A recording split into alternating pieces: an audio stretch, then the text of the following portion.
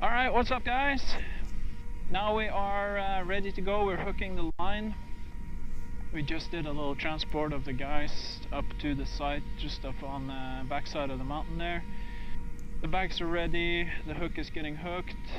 Um, it's beautiful, uh, wind seems to be uh, pretty acceptable, around 15 knots.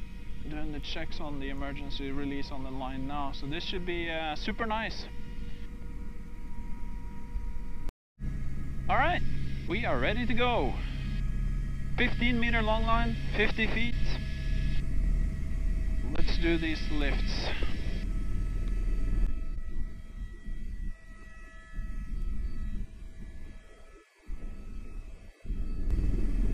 First bag is hooked, got the signal to lift.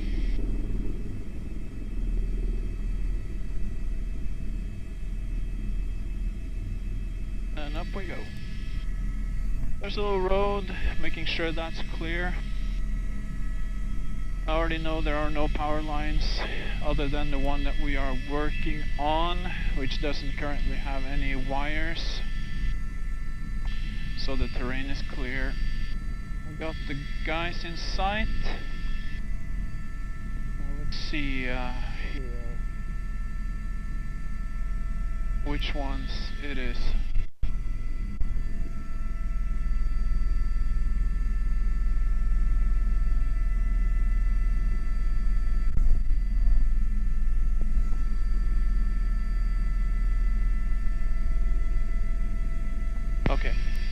Da antar jeg det er han som står litt nedi der, da.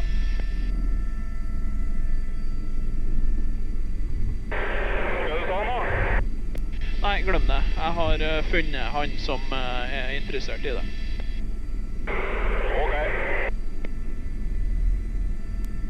Okay, let's see if we can't deliver this to him on a super nice way.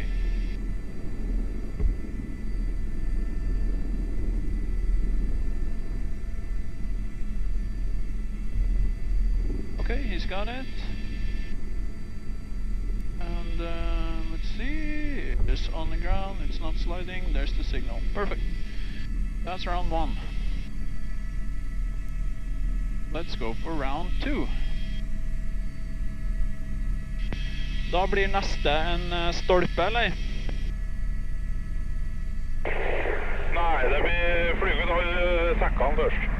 Så blir neste blir oppom der, da. Ja, riktig.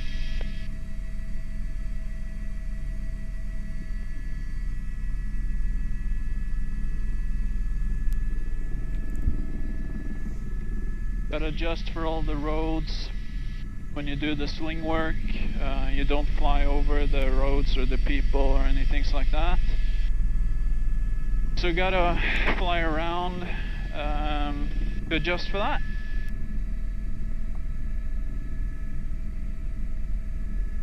Let's do sling number two. Looking out the side, so I'm flying kind of out of trim for the delivery. Hook is hooked, there's the signal. Lifting up.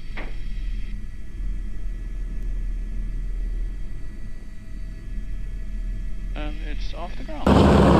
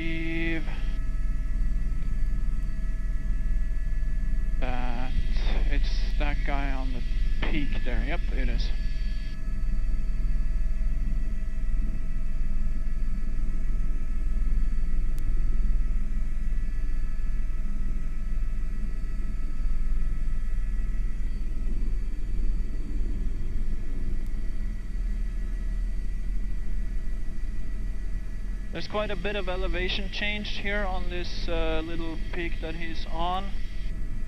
So uh, making uh, height adjustment is a little bit different. Uh, it's hard to estimate. Like I think I was a little low on this one. That's the signal right there. I'm gonna do my fly out a little differently. There was too many, too much things on the left side of the road there. So I'm gonna adopt for that uh, and accept more of a tailwind uh, takeoff component. Just gonna have to live with that. The alternative would be to fly over all the people and the road and things like that, and that's not really an option, so it's just the life of it, I guess. Alright, so that was five bags six. We uh, did the last two together. Now time for the first pole. These poles are gonna be put on the ground and docked. Um, uh, bardooned, wired. I'm not exactly sure what the correct term is. That's when I put it on the ground and the guys pull out some um, strings, ropes, and then they attach that in a uh, uh, approximate 120 degree apart pattern um, and hold the pole upright. So poles off the ground, these are super light. This thing's 250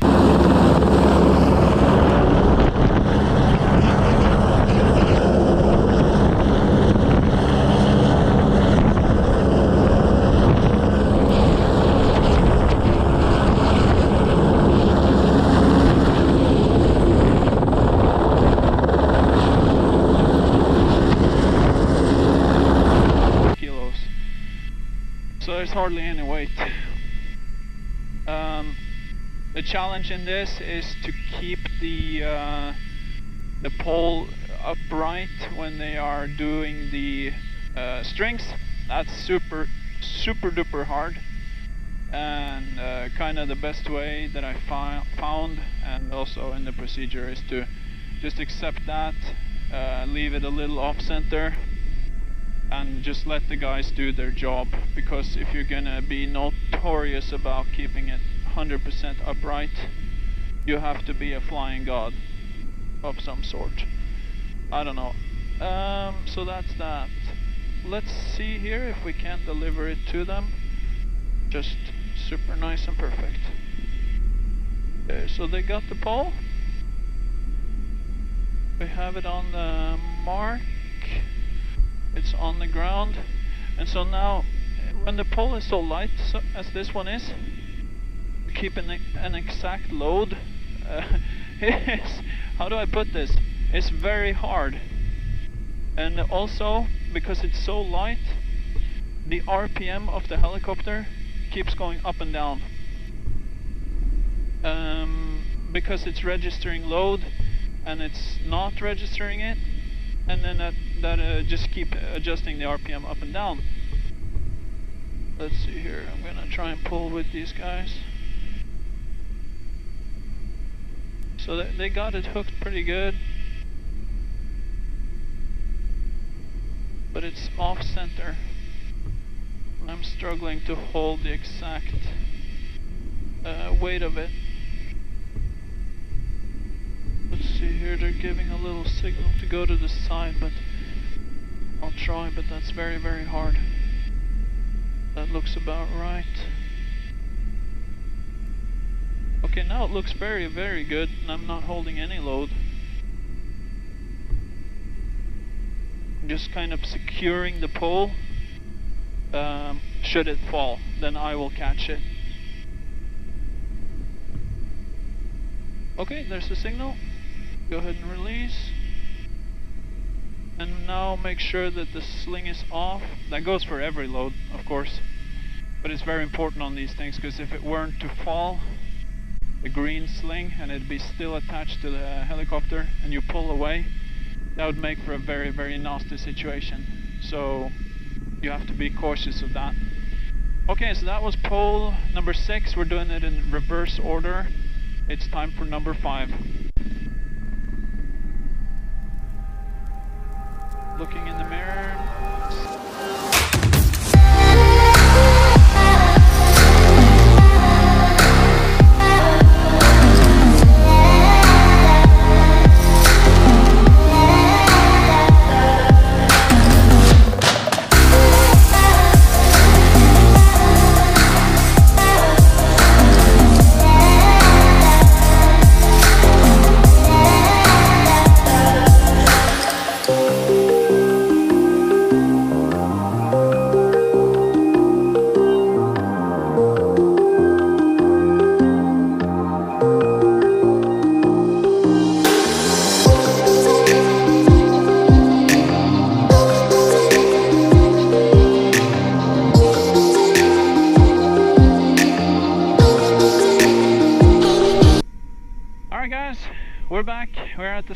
Location now. Similar place as the last one. Power line goes uh, up there, hard to see. Uh, five poles, docking in the same procedure as the other place. When you're wearing these bubbly clothes, kinda obscures a tiny bit of the view down. Makes it a tiny bit harder at least. Not that much.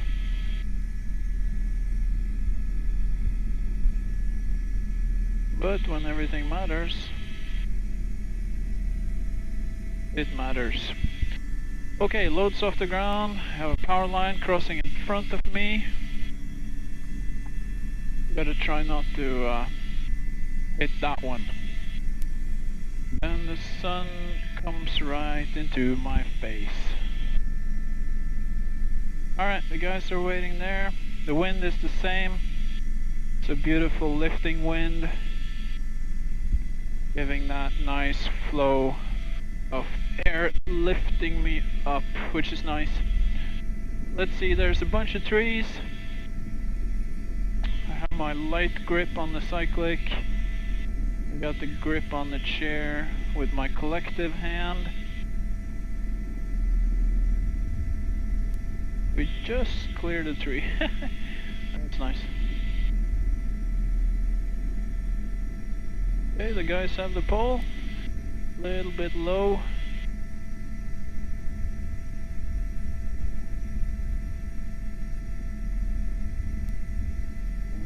Put it down into the rebars. Yep, there we go.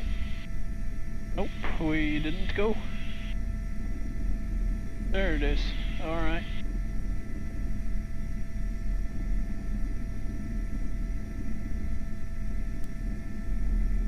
Contact. You can actually feel a slight thud in the helicopter when the pole hits the ground. So long as you're very, very careful. Gives you a little bit of an indication. Okay, let's pull it over somewhat.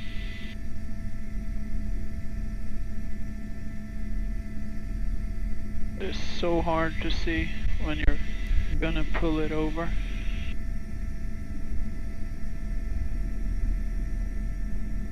Yeah. Sometimes the guys on the ground they pull it too much into one direction like now and it gets off center due to that. So the guy on our right side now, he has the tension up quite a bit but he's struggling to do that because the guys on the left side of the helicopter is tensioning too much. And there they released and the pole went up straight. Okay. So that's nice. Now I'm just kind of securing the pole should it fall for some reason. Just as a backup I don't have any load on the line right now. Just enjoying the sun in my face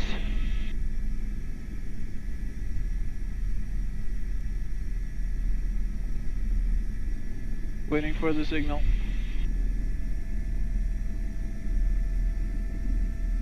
Yep, there's the signal.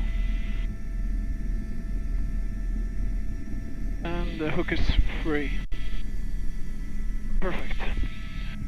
Okay, let's do a lap. We have wind. So did a crosswind takeoff now. Now more or less downwind. I have the power line which passes underneath me now and I'm gonna lose my altitude now keeping in mind my descent rate and the airspeeds keeping that alive. I have my operating site over there I'm losing the altitude now. But not so much as I don't clear the trees here. Got the helicopter out of trim checking in the mirror to see if the line is centered or not which it is and kind of switching over to the side. The hook comes into view. And then just continuing down. I have trees behind me but the line is much longer than the tree length. Okay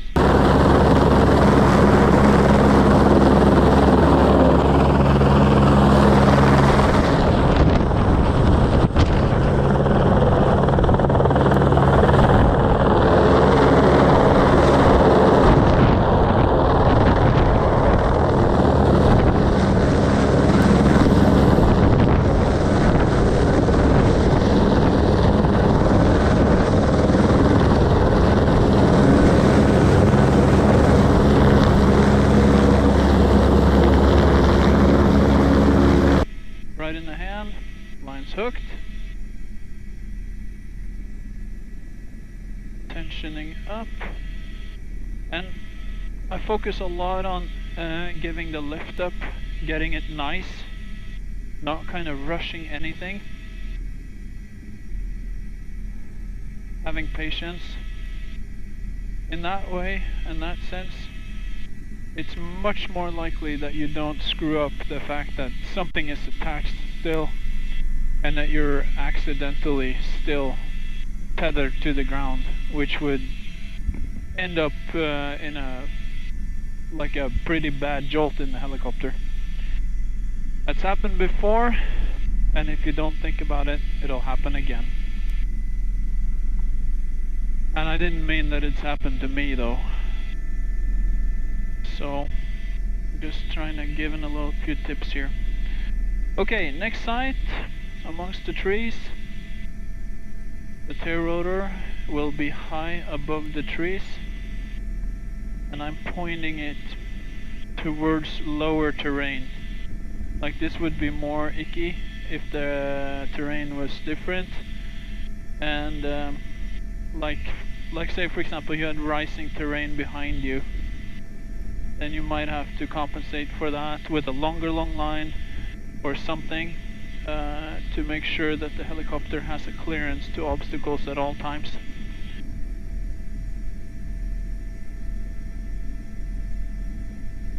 Okay, so he has it. I think he is uh, pulling it down.